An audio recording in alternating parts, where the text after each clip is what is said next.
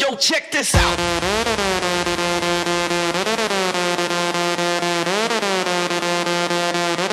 Yo, check this out.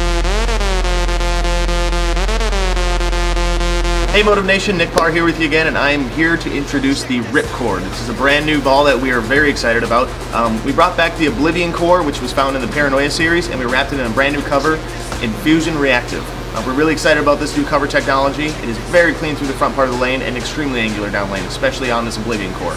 It's going to be in the medium angular portion of our ball chart, so it's going to be really good once the lane starts to break down and you see that friction spot open up down lane. Um, just get in and hook it. The ball's going to be very sideways down lane.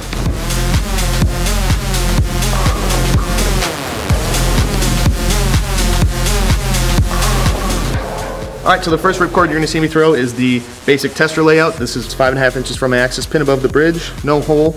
Um, this is gonna be my control ball, so once, once I see that friction down lane open up, I'm definitely gonna be into this ball because it is very clean through the front part of the lane and very angular down.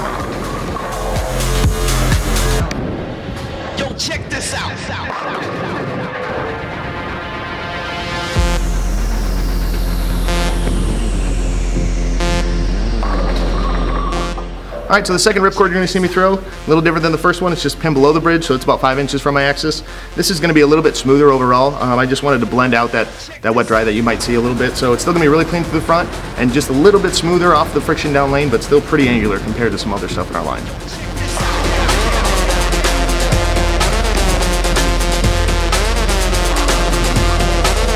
All right, and the last ripcord you're gonna see me throw is the cleanest through the fronts. This is about six inches from my axis, um, just to get it to flare a little bit less in the front part of the lane, but still down lane. Um, so you're gonna see it be really clean through the fronts and very angular down lane because it is a little bit weaker overall, especially on the symmetrical core.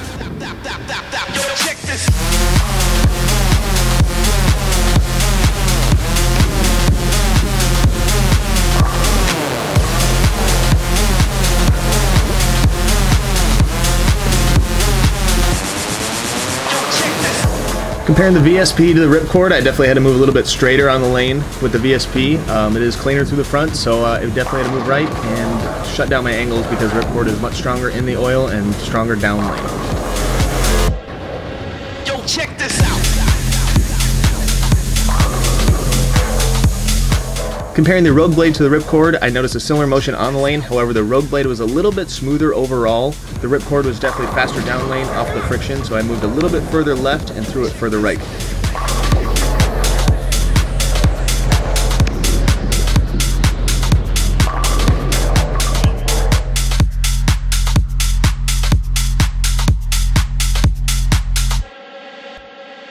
Yo, check this out.